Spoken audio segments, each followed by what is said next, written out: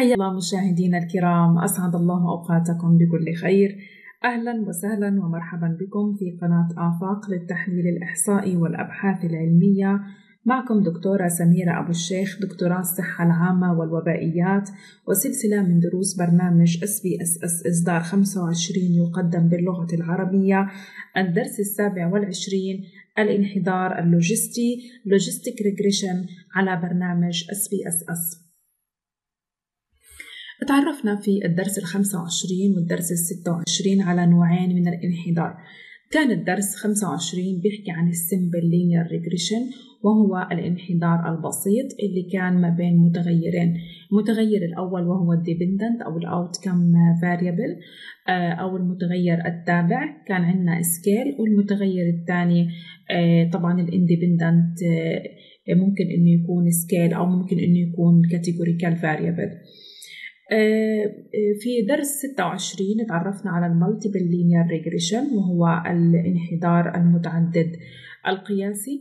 آه، كان عندنا ال dependent variable هو متغير scale مع مجموعة من المتغيرات ال independents المتنوعة اللي بدنا نشوف فيها ونتنبأ التغيرات اللي بتحصل في ال dependent variable نتيجة للتغيرات اللي بتحصل في ال independents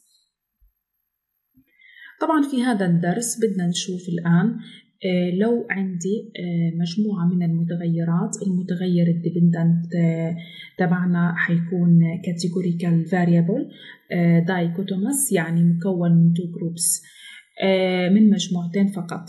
وباقي المتغيرات ممكن يكون فيها scale ممكن يكون فيها categories يعني برضو يعني متغيرات متنوعة. قاعدة البيانات اللي قدامنا راح ننفذ عليها الانحدار اللوجستي أو ال logistic regression تعال نشوف هذه المتغيرات الموجودة عندنا ونفهمها كويس قبل ما نجري التحليل. أهم إشي لما نيجي بدنا نعمل ال logistic regression إنه نفهم المدخلات. لو ما فهمنا المدخلات كويس وما فهمنا ال variables الموجودة كويس ما راح نعرف نقرأ النتائج. فعشان هيك لازم نركز بالضبط إحنا إيش مكودين وإيش هي المتغيرات اللي عندنا. المتغير الأول وهو المتغير ال admission to high graduate school يعني إنه قبول الطالب في مدرسة للدراسات العليا. إذا واحد هو admission صار له admission. إذا otherwise صفر. يعني ما صار له admission بتكون صفر. إذا دخول الطالب إلى مدرسة الدراسات العليا آه صفر وواحد. واحد إنه دخل الجامعة أو المدرسة هاي وصفر ما دخلهاش أو ما انقبلش فيها. ال GRE وهي Graduate Record Examination يعني آه، درجة الطالب في امتحان القبول للمدرسة. مدرسة الدراسات العليا. طبعا هذا scale ال measurement تبعه scale بالنسبة لل GPA وهو ال grade point average المعدل التراكمي للطالب اللي هو جاي فيه. وهذا طبعا scale برضه آه، بالنسبة لل rank اللي هو rank المدرسة اللي طالع منها الطالب. اللي هي ال undergraduate المدرسة اللي طالع منها الطالب. إذا كانت high prestige school أو low prestige school طبعا هاي categorical variable وهو ordinal مكود إلى أربعة. إذا كان الطالب جاي من مدرسة high prestige فهي واحد وإذا كان low prestige أربعة والتنتين اللي بالنص بيناتهم. الآن راح نروح ننفذ ال regression أو ال logistic regression وراح نشوف نتنبأ في التغيرات اللي حتحصل في اللي هو ال dependent variable اللي هو ال admission آه، من خلال ال independents الموجودة عندنا من خلال المتغيرات آه، المستقلة الموجودة عندنا بالدراسة. راح نروح على analyze regression. هنختار binary logistic ال binary logistic اللي هو ال logistic regression وسمي ب binary لأنه ثنائي. هنضغط عليه. حيفتح لنا مربع الحوار اللي اسمه logistic regression مربع الحوار مطلوب مني شغلتين أحدد ال dependent وال covariates ال covariates هي ال factors نفسها. آه راح نختار أول إشي ال dependent اللي هو ال admission to high school graduate school وباقي المتغيرات كلهم حنحطهم ك covariate الآن أنا ما بدي أغير كتير بهذه الخيارات لكن بدي أروح بس أحدد ال rank اللي أنا بدي إياه. حفتح على ال categorical حيقول لي أي واحد متغير فيهم categories يعني إذا كانوا اثنين أو ثلاثة أو أربعة بنحطهم كلهم. إحنا عندنا بس البرستيج هو ال categorical variable عندي. طبعا هنا إحنا نحكي على ال independents حدخله هنا. حيحكي لي هين سؤال. ال indicator تبعك. بدك إياه last ولا first إيش يعني last وإيش يعني first الآن إحنا مكودين ال rank ال prestige school مكودينها إنه الواحد ل high prestige school وأربعة low prestige school. فهو بيحكي لي أنت بدك تقارني بال last يعني بالأربعة ولا بدك تقارني بال first يعني بالواحد. هلا أنا مخيرة إني أحط last أو first والتنين صح لكن بدي أعرف أقرأ النتائج تبعتي. أنا حخليها last. زي لو بدي أغير حاعمل first. و change. لكن أنا الآن وهي هنا حط لي first لكن أنا حخليها last حاعمل change حتتغير حتصير خلص ال indicator ما هو معروف last يعني by default لكن إذا بدي إياها first زي ما شفنا. تمام. اذا كمان مرة. ال rank مكود إلى واحد اثنين ثلاثة أربعة. واحد high graduate أو high prestige school والأربعة low prestige school أنا هنا قلت له بدي أقارن ال rank أو بدي أقارن في ال rank الأكبر اللي هو ال rank الأربعة يعني بال low. بدي أقارن بال low. تمام continue ما راح أغير ولا إشي بالإعدادات تبعت ال logistic regression راح أعمل okay. أختار طبعا ال method حثبتها على enter. طبعا إحنا في methods تانية لكن إحنا حنخلي شغلنا على ال enter okay. هتطلع لي نتائج ال logistic regression الآن هذه المخرجات آه، تبعت ال logistic regression آه، في عنا جداول كتير بتخص آه، ال logistic regression طبعا إحنا إيش هذه الجداول إيش المهم منها وإيش ناخذ منها. بس قبل رح بدنا نفهم أكثر إيش تصنيفات هذه الجداول. الجداول هذه مصنفة لأول حاجة descriptive عادية المتغيرات اللي داخلة بالتحليل بعد هيك ال block zero وهو الموديل اللي بدون آه، independent variables يعني بدون متغيرات دخلت عندي. آه، بعد هيك بدنا نشوف الموديل يقارنه ما بين ال model block 1 اللي هي لما استخدمنا ال method enter ودخلنا المتغيرات الثانية اللي هي ال independent variables. الآن أول إشي ال logistic regression ال case processing summary ال case processing summary بيحكي لي قديش المتغيرات آه، أو آه، قديش ال cases اللي دخلت في التحليل وعددهم 400 400 case. وما كانش عندي أي missing آه، values في فيهم. بالنسبة للجدول الصغير هذا ال dependent variable encoding بيحكي لي على ال codes تبعت المتغير. التابع. بحكي لي إذا كان الطالب قبل في الدراسات العليا أخذ واحد وإذا لم يقبل فإذا أخذ zero. طبعا هذا التكويد اللي أنا عملته أساسا. بعد هيك حيعطيني معلومات عن ال categorical variables الموجودة عندي وال codes تبعتها. طبعا إحنا في عنا أربع اللي هو ال prestige school اللي هي المدرسة اللي إجا منها الطالب. قديش البرستيج تبعها؟ طبعا مقسمة إلى أربع levels من high إلى low levels وعرضهم ك frequencies عادية. الآن تعالوا نشوف ال beginning block ال beginning block اللي هو ال block zero كل هذه الجداول اللي وراه اللي هو ال classification table وال variable in the equation. و variables not in the equation. هدول الثلاثة تابعين لل block zero اللي هو ال model without predictors. يعني ما فيش عندي متغيرات independent فيها. بحكي لي هذا الجدول إنه اللي دخلوا بالتحليل اللي هم 273 ما انقبلوا في الدراسات العليا 127 انقبلوا طبعا ما فيش هنا أي predictions في الموضوع. بالنسبة لل variable in the equations طبعا بتعطيني اللي هو ال beta وال exponential B اللي هي ال odds ratio في حال إنه ما فيش عندي independence دخلت في الدراسة. بالنسبة لل variables not in the equation اللي هو الجدول هذا بيعطيني اللي هو طبعا ال score تبع كل متغير من المتغيرات ال independents إنه لو دخل هذا المتغير آه، في الموديل إنه قديش راح يأثر على الموديل. طبعا هذول النتائج 13.6 12.7 25.2 بتحكي لي إنه ال graduate مثلا record examination راح يعمل variabilities أو اختلافات في حدوث اللي هو المتغير ال outcome لأنه statistically significant. نفس الشيء ال grade point average نفس الشيء البرستيج يعني بعطيني معلومات أولية عن هذه ال variables أو المتغيرات ال independents اللي أنا دخلتها في اللي بدخلها بال method هل حتعطي آه، significant improvement في الموديل ولا لا؟ وطبعا هذه المتغيرات أعطت significant improvement زي ما إحنا شايفين. بالنسبة للتصنيف الثالث من الجداول وهو آه، جداول ال entered method اللي هي ال logistic regression. الجدول الأول اللي هو ال omnibus test of model coefficients ال chi square قرأته الكبير ال 41.4 و it's statistically significant بتحكي لي إن ال model fit باستخدام ال independent variables هدول اتحسن.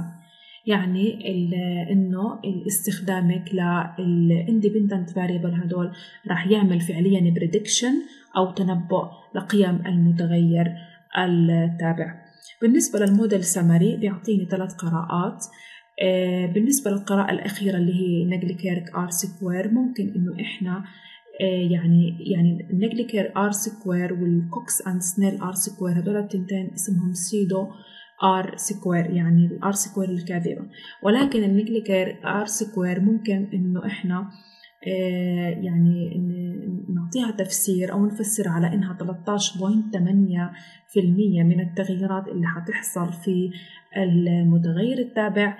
آه، طبعا حيفسرها المتغيرات المستقلة اللي انحطت في الموديل.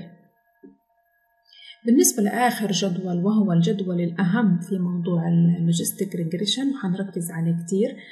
الآن ال variables in the equation ال variables الموجودة عندي اللي انحطت في المعادلة تبعت ال logistic regression الآن في عندي اللي هم ثلاثة variables ال graduate اللي هو ال GRE وال GPA والبرستيج المقسم لأربع أقسام.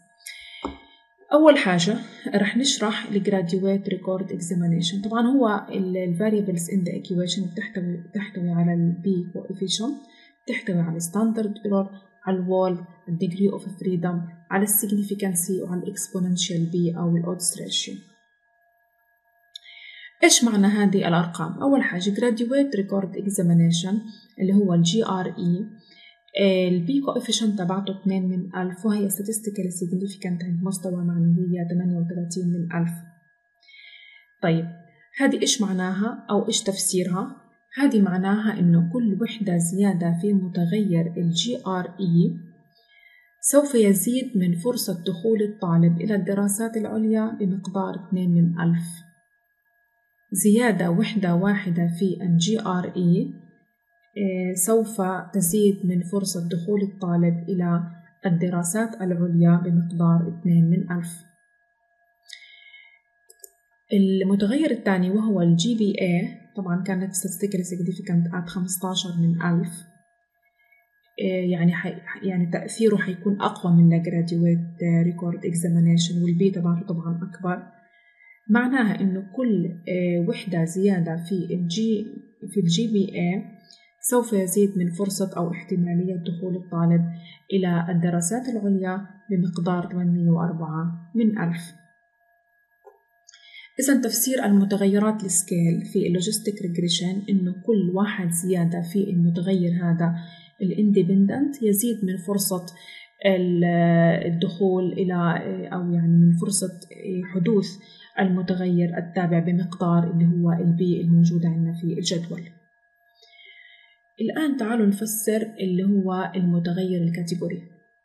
المتغير ال categorical يعني تفسيره مختلف شوية هلأ البرستيج أساسا مكون إلى أربعة برستيج واحد وبرستيج اثنين وبرستيج ثلاثة. ونتذكر الآن نفتح إنه الواحد high prestige school اثنين very good prestige school ثلاثة good وأربعة low prestige school فهو مكون إلى أربعة. الآن أنا طلبت آه، من في ال logistic regression إني أنا أقارن بال last يعني أنا هنا بدي أقارن بال low في ال low prestige school يعني الأربعة يعني ال low prestige school راح تكون هي ال reference تبعي هي المرجع تبعي هي ال predictor تبعي هي ال indicator تبعي. فعلشان هيك هو شالها من الجدول وحطها ك reference كمرجع. فجاب البرستيج الأول والثاني والثالث. الآن البرستيج الأول آه، ال B تبعته كانت واحد وخمسة وخمسين من مية و statistically significant على zero point zero zero zero يعني أقل من خمسة في المية إذا هذه كيف تفسر؟ تفسر على إنه آه، آه، إذا كان الطالب من مدرسة إلها برستيج عالي اللي هو high prestige school يعني إذا إجا الطالب من مدرسة high prestige school فرصة دخوله إلى الدراسات العليا تزيد بمقدار واحد ونص عن فرصة دخوله لو كان جاي من prestige four. بالنسبة للبرستيج اثنين آه إنه فرصة طبعا هي statistically significant عند 17 من ألف مستوى معنوية 17 من ألف فهنا طبعا حنفسرها وحنعلق عليها. حنحكي إنه فرصة الطالب إذا حضر الطالب من مدرسة برستيجها اثنين اللي هي كانت good prestige school فيزيد من احتمالية دخوله إلى الدراسات آه، العليا بمقدار 8 من عشرة أو 876 من ألف. آه، طبعا أكثر من الطالب اللي آه، جاي من مدرسة low prestige school وبالنسبة لثلاثة طبعا ما فرقتش معي يعني إذا الطالب جاي من مدرسة prestige school تبعها يعني كان ثلاثة أو كان لو اللي هو أربعة ما راح يفرق كتير في دخوله إلى الدراسات العليا. إذا تفسير آخر جدول في ال logistic regression يعتمد على نوع ال independent variable إذا كان أو المتغير طبعا المستقل. إذا كان المتغير المستقل ال measurement له scale آه راح يفسر على أنه كل وحدة كل وحدة زيادة في هذا المتغير سيزيد من فرصة حدوث متغير ال dependent أو المتغير التابع بمقدار ال B طبعا إذا كانت ال B بالسالب يعني بيكون آه، فرصة عدم الحدوث. يعني بتكون العلاقة عكسية. لكن المتغيرات الرتبية أو المتغيرات اللي بتكون categorical بنفسرها تفسير مختلف. بنحكي إنه آه، طبعا هذه تزيد من يعني كل ما كان الطالب آه، أو يعني يعني بنفسرها على إنه وجود وجود الطالب أو وجود يعني ال participant تبع الدراسة المشارك في الدراسة في آه، يعني هذه مثلا ال group آه، تزيد من فرصة آه، حدوثه أو حدوث يعني ال dependent variable أو المتغير التابع بمقدار يعني الموجود في ال B عن ما إذا كان موجود الطالب هذا أو ال participant في المجموعة اللي هي ال reference. إلى هنا أعزائي المشاهدين بنكون انتهينا من شرح الدرس 27 درس ال logistic regression أو الانحدار اللوجستي على برنامج SPSS مشاهدة ممتعة أتمناها لك إذا أعجبك الفيديو اعمل like و share ولا تنسى الاشتراك بالقناة وتفعيل زر الجرس ليصلك كل جديد.